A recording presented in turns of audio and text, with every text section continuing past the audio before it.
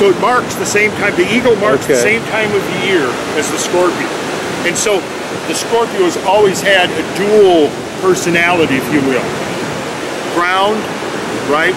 And well the and, and the other side being the eagle, because the scorpion crawls on the ground and the eagle flies in the sky. Wow. See? And so that's kind of that symbolism that's that's contained here. So when you see the eagle, it, it represents the time of the the annual year and the time of the cosmic year.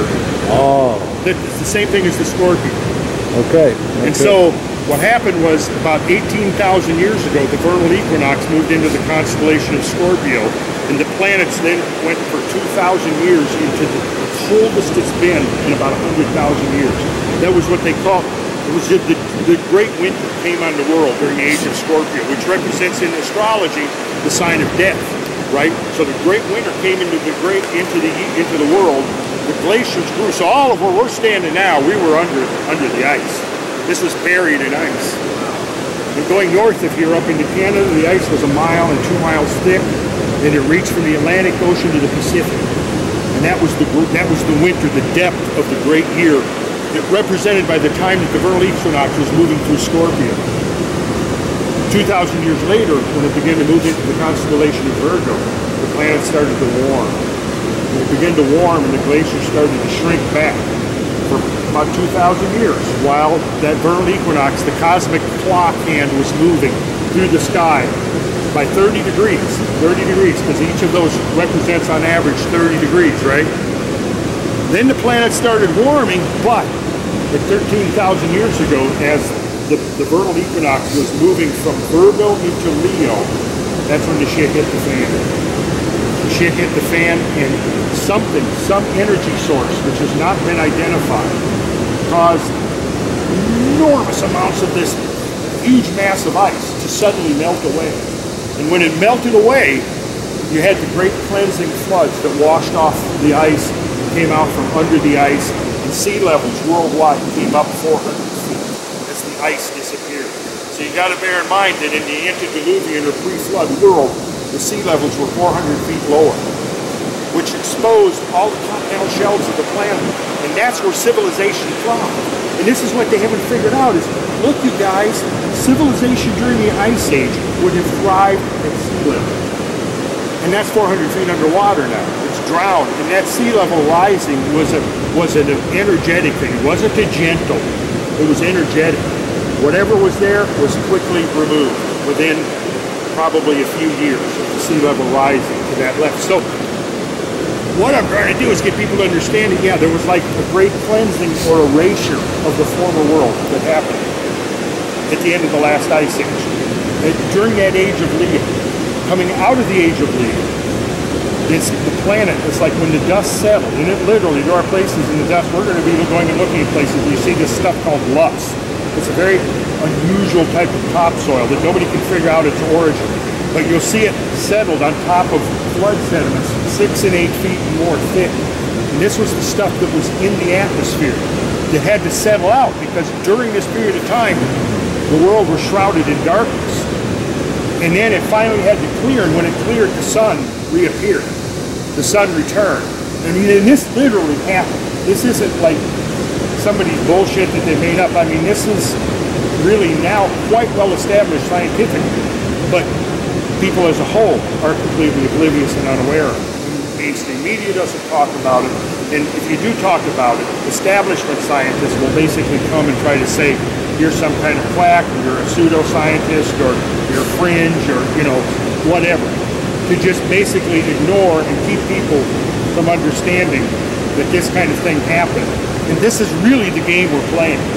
Because one of the key traditions that's been handed down through all of the ages by these various groups of people has concerned the tempo, has concerned the, the knowledge of this cosmic clock.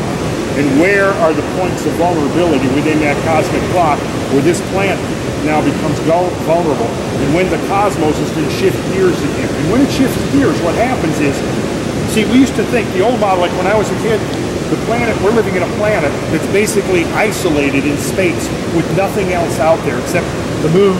There's the moon, and then the nearest planet being Mars and Venus, and then Mercury. And, and but what now? the model has shifted, right? And the model, the current model really is more consistent with the archaic model, which is that outside of Pluto, there's this vast zone of hundreds of billions of comets. And those comets are the little spermatozoan that brought the genetic material here in the first place, but they're also the agents by which the planet gets destroyed from time to time. See? Not completely Yeah. destroyed. Not, no, not completely destroyed. yeah. I- I'll say the world gets destroyed, Yeah, not yeah, the planet, yeah. because that's the difference. This is the world, the order of things now. When this was all buried under ice, that was a different world. Yeah. See? You know, when you go up there on those rocks and you see those ripples that were on the bottom of a shallow sea, that's a different world. The planet, it's the same planet, but a different world. Yeah. It's awesome. Yeah, man.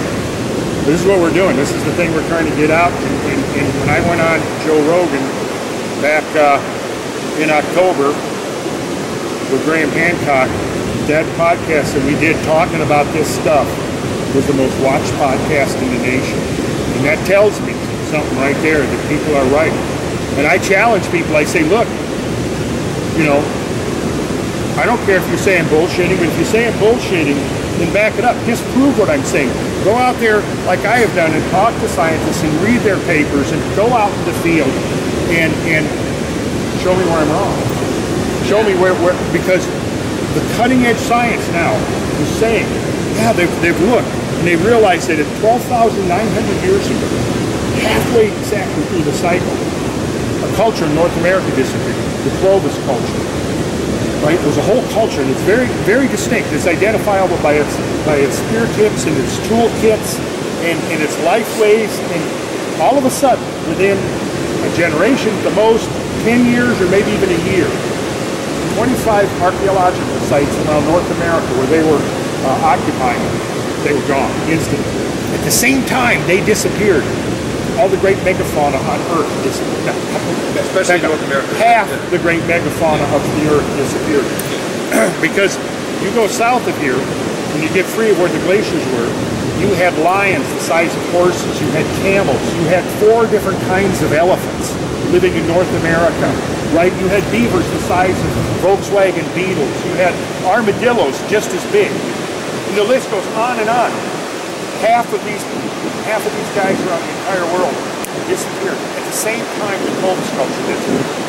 At the same time, from some unknown source, a tremendous pulse of energy caused this flash melting of the great glaciers. And the floods came off, and they sculpted the landscape from here to the Pacific Ocean. The city, like I told you, the city of Portland is built upon a delta that was washed out. It's got material from Canada, from Washington, from Idaho, from Montana, all down the Columbia Gorge, and that stuff is piled up, and the city of Portland is built on top. And that stuff that it's built on is literally, literally the wreckage of the former world.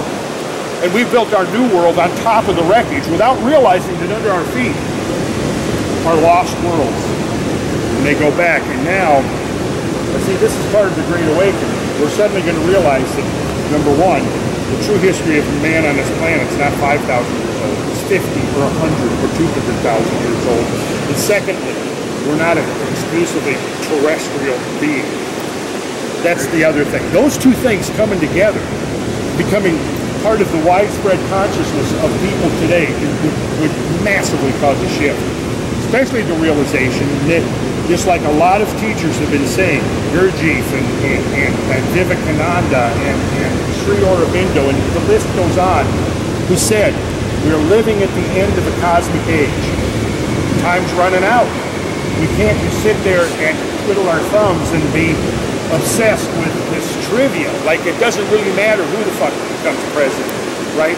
It's not going to matter because if the planet gets us even even a, a, a fraction of what happened 13,000 years ago, game's over.